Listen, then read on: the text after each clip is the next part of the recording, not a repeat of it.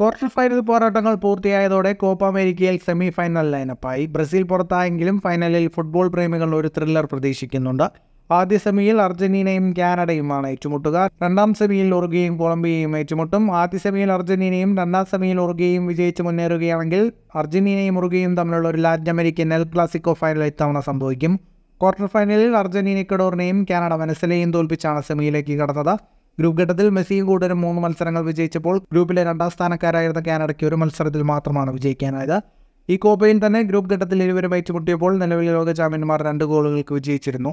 ബ്രസീലിനെ penalty ഷൂട്ടൗട്ടിൽ കീഴടക്കിയാണ് Uruguay വരുന്നത്. ഈ ടൂർണമെന്റിൽ ഏറ്റവും മികച്ച പ്രകടനം കാഴ്ചവെച്ച ടീമാണ് ഉറുഗെ ഗ്രൂപ്പിൽ മൂന്ന് കളികളും ജയിച്ച ഉറുഗെ പ്രാഥമിക ഘട്ടത്തിൽ ഒമ്പത് ഗോളുകൾ അടിച്ചുകൂട്ടി. ഒരു ഗോൾ മാത്രമാണ് ഇതുവരെ വഴങ്ങിയത്.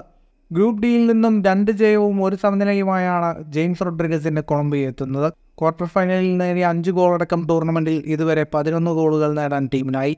വഴങ്ങിയതാവട്ടെ രണ്ട് ഗോളുകൾ മാത്രമാണ്. ഫുട്ബോൾ ലോകത്തെ കൂടുതൽ വാർത്തകൾക്കും വിശേഷങ്ങൾക്കുമായി സ്പോർട്സ് കഫേ പോൾ തന്നെ സബ്സ്ക്രൈബ് ചെയ്യുക.